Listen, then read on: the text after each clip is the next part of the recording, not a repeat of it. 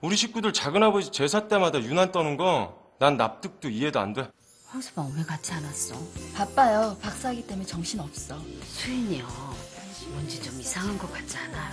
그 친구도 사기당한 것 같은데 그냥 돌려보내.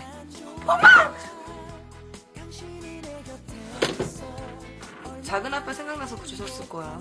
특별한 날이잖아. 내일 아침 당장 할아버지 무슨 낯으로 뵈려고 주무신 것 같은데. 아버님 일어나셨어요? 단단히 화나셨나 봐. 그 너는 화 많이 나셨대? 내가 거. 세월도 흘러갈 만큼 흘러갔고, 아, 지수도 저렇게 다 컸잖아. 무슨 소리를 하고 싶은 거야?